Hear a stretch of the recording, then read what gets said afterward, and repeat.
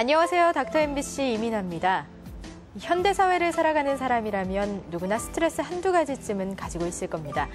그 중에서도 특히 위험한 환경에서 근무하는 군인이나 경찰, 소방 공무원들은 외상 후 스트레스를 많이 겪는다고 하는데요. 최근에는 일반 국민들에게도 외상 후 스트레스가 많이 발생해 각별한 주의가 필요하다고 합니다. 그래서 오늘 이 시간에는 외상 후 스트레스에 대해 전북 신세계병원 김선경 과장과 함께 알아보겠습니다. 극심한 정신적 충격에서 오는 외상 후 스트레스. 조기에 발견해 꾸준히 치료하는 것이 중요합니다. 외상 후 스트레스라는 주제로 정신건강의학과 전문의 김선경 과장과 함께합니다.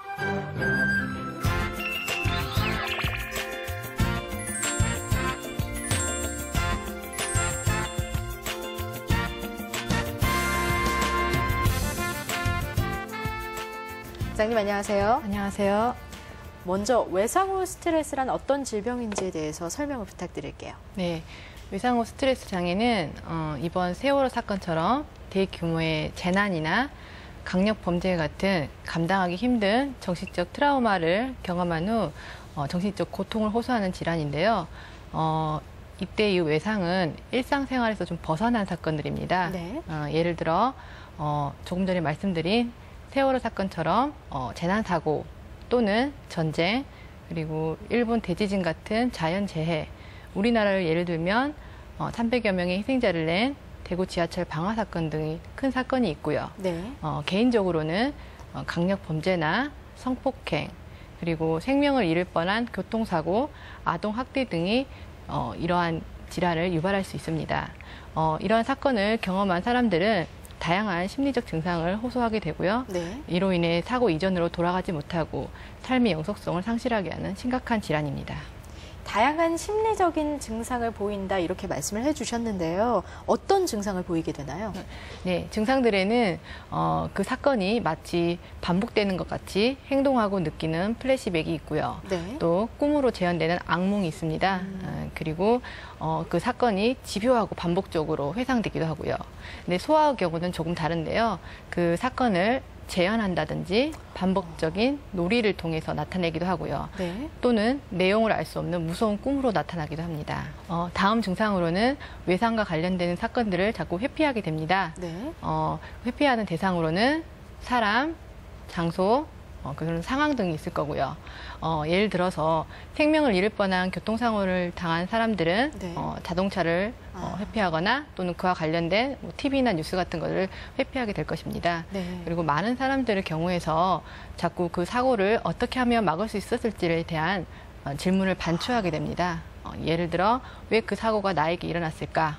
어떻게 하면 그 사고를 막을 수 있을까? 네. 또는 어떻게 하면 복수할 수 있을지에 대한 질문을 반추하게 됩니다. 마지막으로 어, 과각성 증상이 있습니다. 네. 아, 과각성 증상에는 과도하게 놀라거나 또 예민하게 반응하거나 또 안절부절 못하고 어, 집중을 못하고 또 수면 장애를 겪을 수가 있는데요. 이와는 달리 어, 감정 둔마를 경험하시는 분도 있습니다. 네. 감정 둔마란 어, 감정을 느낄 수 없다 또는 사람들로부터 격리된 느낌을 받거나 어, 이전에 했던 일들을 포기하게 되고 어, 사건의 중요한 부분을 기억상실 등으로 나타날 수 있습니다. 음, 그러면 외상 후 스트레스는 어떻게 진단을 내리게 되나요?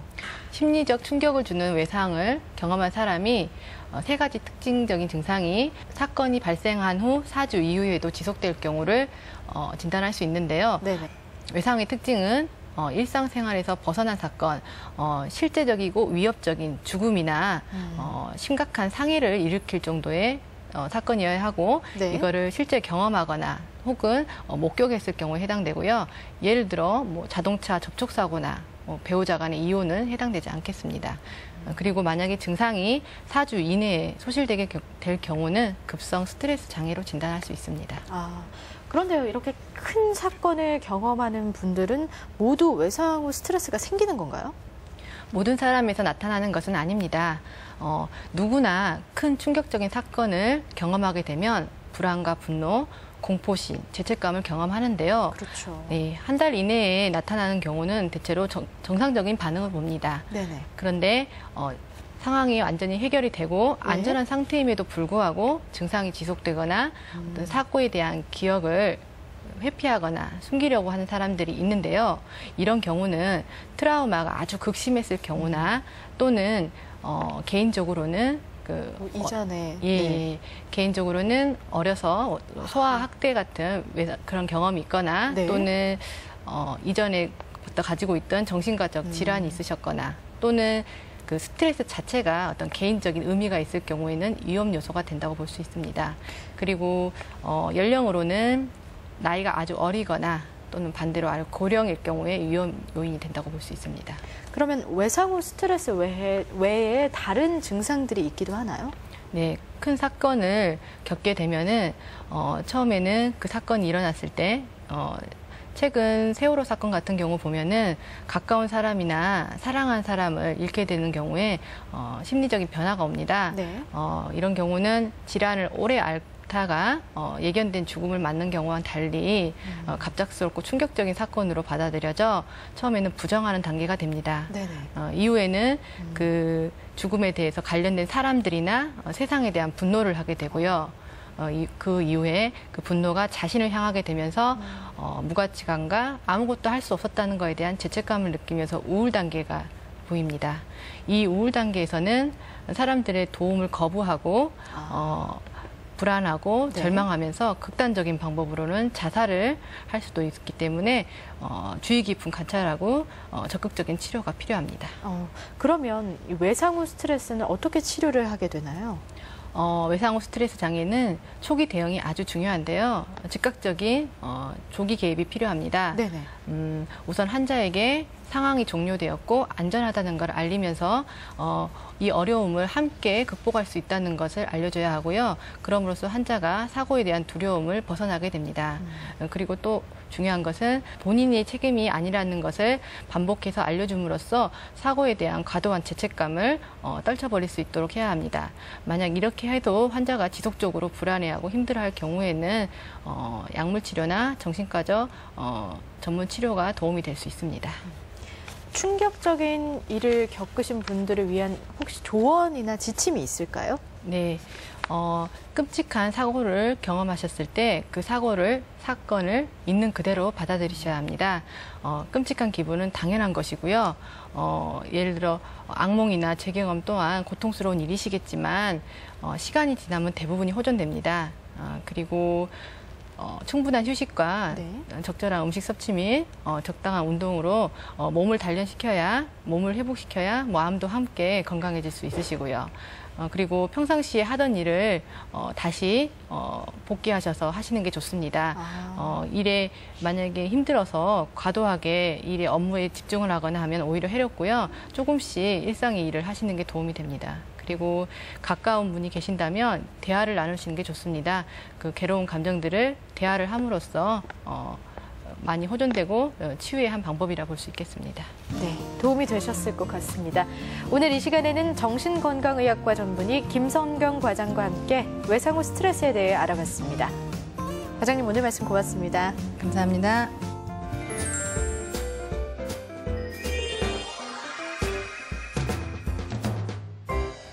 서구화된 식습관과 생활 환경, 스트레스, 그리고 질병 때문에 탈모 환자가 급격히 늘고 있다고 합니다.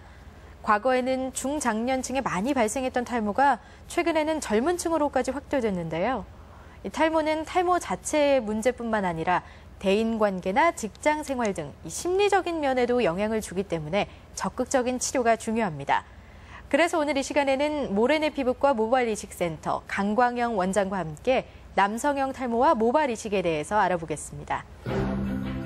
아침 저녁으로 기온차가 큰 환절기 두피 관리에 주의를 기울여야 탈모를 예방할 수 있습니다. 피부과 전문의 강광영 원장과 함께 남성형 탈모와 모발 이식에 대해 이야기합니다.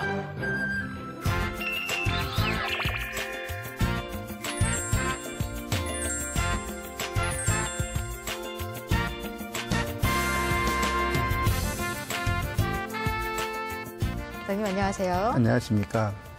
탈모를 단순히 머리가 빠진다고 생각하면 안 되겠네요.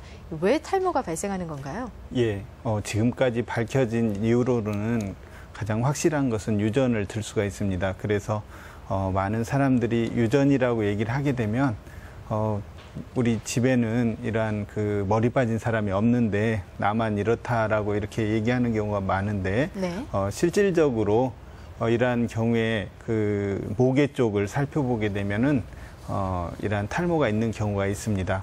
어, 대개는 여성에서 탈모가 있다고 생각을 안 하는 수가 많은데 이것은 이제 여성 같은 경우는 파마를 한다거나 머리를 묶는다거나 함으로써 탈모 부위를 가리기 때문에 네. 어, 탈모가 있다고 생각을 못 하게 되는 거죠. 그러면 탈모가 진행되고 있다는 걸 스스로 진단할 수 있는 방법이 있나요? 예, 어, 보통은 가장 쉽게는 어, 사진을 비교해 보면 알 수가 있습니다. 그래서 어, 예전 사진과 지금 사진을 비교하게 되면 이마가 넓어진 걸 알 수가 있는데 어, 이렇게 이마가 넓어졌다라고 얘기를 하게 되면 환자분들은 어, 저는 어려서부터 이- 이렇게 이마가 넓었는데요. 이렇게 네. 얘기를 하는 경우가 많은, 많습니다. 하지만 이제 저희가 간단하게 알 수 있는 방법으로는 어, 얼굴로 본래 태어났던 그런 이마 같은 경우는 주름을 찌- 어, 찡그리게 되면은 주름이 생기게 됩니다. 어, 두피에는 주름이 생기지 않기 때문에 탈모가 진행돼서 이마처럼 보이는 부분을 그래서 구분할 수가 있게 되고요. 어, 탈모가 진행된 것을 좀 더 더 알 수 있는 것은 어, 자고 일어났을 때 어, 머리 빠지는 수가 증가하게 되고요. 어, 그 다음에는 머리가 이제 가늘어지는 걸 볼 수가 있습니다. 어, 가늘어졌다는 걸 어떻게 느낄 수 있냐면 어, 머리가 말을 잘 듣게 되는 거죠. 아. 어, 전에 같은 경우는 머리를 어, 굉장히 이렇게 자기 마음대로 움직이고 싶지만 그렇지 못하고 그냥 어, 새집 지은 모양으로 있는 경우가 많은데 어느 순간에 어, 머리를 자기가 원하는 대로 넘겼을 때 잘 넘어가게 되는 것은 이, 이것은 이제 탈모가 점점 진행해서 어, 마, 어, 머리가 가늘어지고 어, 야, 어, 말을 잘 가늘어져서 말을 잘 듣게 되는 거죠. 음, 그러면 남성형 탈모의 종류에는 이렇게 앞서 말씀해 주신 것들이 있는 건가요? 예, 남성형 탈모는 어 이제 보통 사람들이 탈모하면 여러 가지를 한꺼번에 생각을 하게 되는데 네네. 가장 쉽게 생각하는 것은 이제 원형 탈모증이 있습니다. 그래서 동전 모양으로 빠지는 그런 탈모가 있고 반면에 이, 이, 이것과 달리 이제 남성형 탈모는 어, 유전에 의해서 빠지게 됩니다. 그래서 흔히 우리가 말하는 어, 대머리라고 하는 그런 그 탈모가 어, 유전성 탈모라고 합니다. 그러면 남성형 탈모의 경우에는 어떻게 치료를 받을 수 있을까요? 예, 어, 최근에는 여러 가지 치료 방법들이 어, 사용 어, 치료 방법이 있게 되는데 어, 가장 쉬운 방법으로는 바르는 약을 들 수가 있습니다.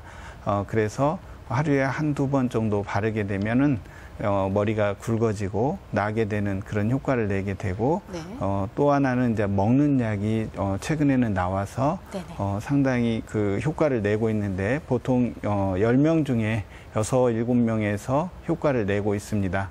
어, 그렇지만 이제 이러한 그 먹고 바르고 하는 방법이 쉽게 접근할 수 있지만 이런 약을 먹거나 바를 때는 효과를 내, 내지만 네. 약을 중단하게 되면은 어, 가까운 시일 내에 이제 또 탈모가 진행됐던 그런 그 어, 정도로 어, 탈모 어, 머리가 빠지게 됩니다. 예. 아, 그 외에 이제 조금 더 적극적인 방법으로는 어, 모발 이식을 들 수가 있는데 이것은 수술적인 방법입니다. 그래서 어, 수술을 함으로써 음, 다른 앞에 말씀드렸던 바르는 약, 먹는 약과는 달리 어, 치료 효과가 영구적이고 어, 또한 효과 자체가 6개월 정도가 지나게 되면은 치료 효과를 바로 볼 수 있게 됩니다. 그래서 어, 조금 더 이러한 그 여러 가지 방법들을 어, 있게 되지만 또한 어떤 한 방법이 어, 제일 좋다 어, 아. 그러기보다는 이러한 방법들을 어, 서로 같이 하게 되면은 서로 상승 효과가 있게 됩니다. 그러면 모발 이식이라고 하는 거는 수술적 치료라고 이야기를 할 수 있을 것 같은데요. 예. 그러면 환자분들 중에 모발 이식을 이분은 꼭 해야 한다 이런 분들이 계신가요? 예, 어, 방금 이제 여쭤보신 것은 어떤 경우에 이제 모발 이식을 해야 네, 되냐, 네, 네. 이제 이렇게 볼 수가 있는데, 어, 이제 사람마다 조금씩은 차이가 있습니다.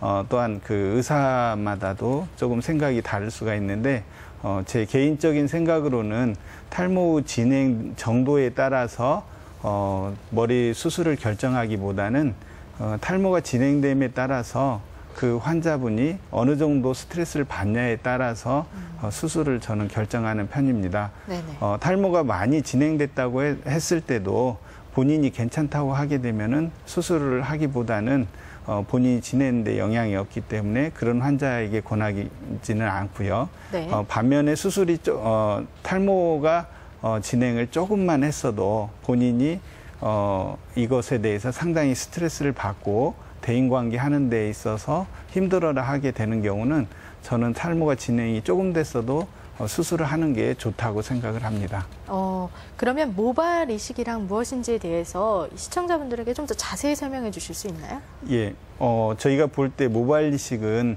어, 뒤쪽에 빠지지 않는 그런 모발이 있, 있게 됩니다. 네. 탈모가 어, 많이 진행돼도 어, 귀 위쪽과 뒤쪽의 머리는 남게 되는데 어, 이쪽의 모발을 어, 앞쪽에 탈모가 진행된 그런 부위로 옮겨 심게 되는 거죠. 흔히 이제 이런 모발 이식을 어, 모발 이사라고도 저희가 하는 이유가 거기 있습니다. 네. 어, 그러면 이제 환자분들이, 어, 이런, 이처럼 그 앞쪽에 탈모가 진행된 부위, 즉, 그 밭이 안 좋은데, 어, 그 부위에 옮겨 심었을 때, 어, 실제 이 옮겨 심은 머리가 잘 자라겠느냐 하는 그런 질문을 많이 하게 됩니다. 네네. 어, 그렇지만 이제 저희 몸의 특성상 본래 가졌던 그 특징을 그대로 가지고 자라기 때문에 어, 뒤쪽에 탈모가 진행되지 않는 모발은 탈모가 진행된 부위로 옮겨 심어도 어, 탈모가 진행을 하지 않게 됩니다. 어, 이런 것을 보여주는 대표적인 그 사진으로는 어, 어, 저희 저희 어, 그 교수님께서 어, 실험하신 내용인데 어, 당신의 머리를 어, 다리에 옮겨 심었습니다. 그래서 아, 어, 이런 다리 옮겨 심어진 머리가 다리의 머리카락처럼 어, 털처럼 변할 거냐 아니면 본래 가지고 있었던 특징을 그대로 갖고 길게 자랄 건가 하는 그런 실험을 했었는데 어, 다리 털처럼 되지 않고 실제적으로 어, 본래 가졌던 머리 모양대로 어, 길게 자라는 것으로 어, 본래 가졌던 특징을 그대로 어, 갖고 간다는 것은 증명돼 있습니다.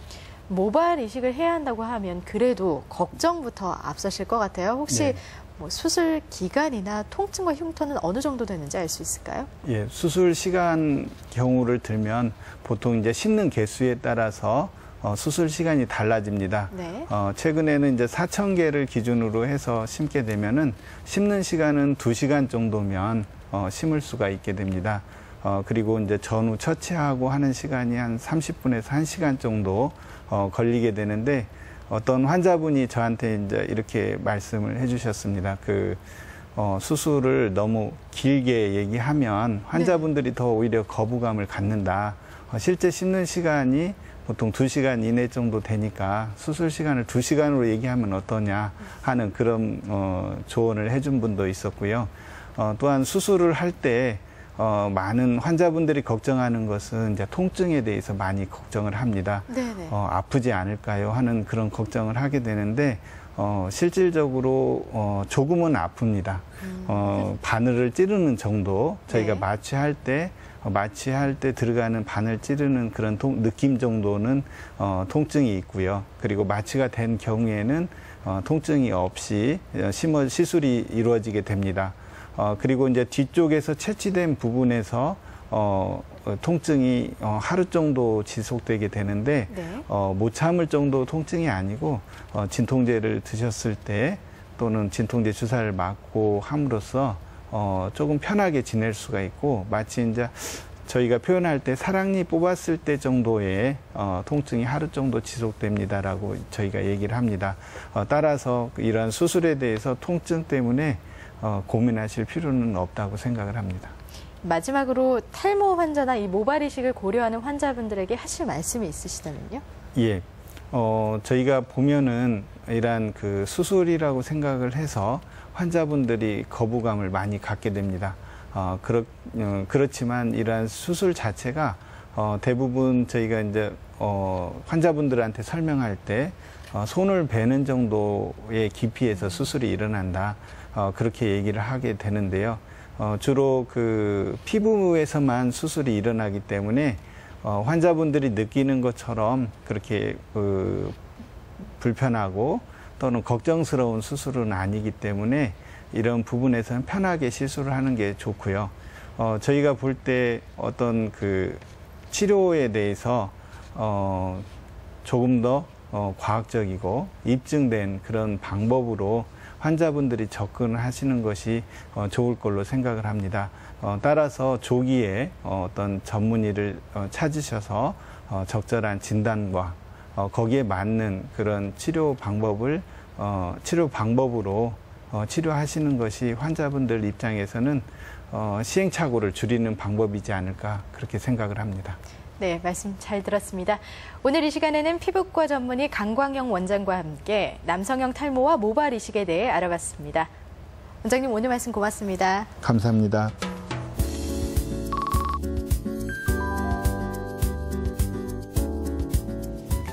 번잡한 출퇴근길이나 버스 안 또는 길거리에서 이어폰으로 음악을 듣는 사람을 쉽게 볼 수 있죠. 그런데 음악을 너무 크게 들으면 소음성 난청을 겪을 수 있어서 각별한 주의가 필요합니다. 특히 최근 5년 동안 소음성 난청으로 병원을 찾은 10대 청소년들은 두 배 가까이 늘었는데요. 이렇게 한 번 손상된 청각은 회복하기가 쉽지 않습니다. 이어폰을 사용할 때 볼륨을 조금 낮추고 일정한 시간을 정해서 귀에 휴식을 주는 것이 청각 손상을 예방할 수 있다고 하니까요. 여러분도 꼭 기억해 두시기 바랍니다. 닥터 MBC 오늘은 여기서 마치겠습니다. 저는 다음 주 이 시간에 다시 찾아뵙겠습니다. 고맙습니다.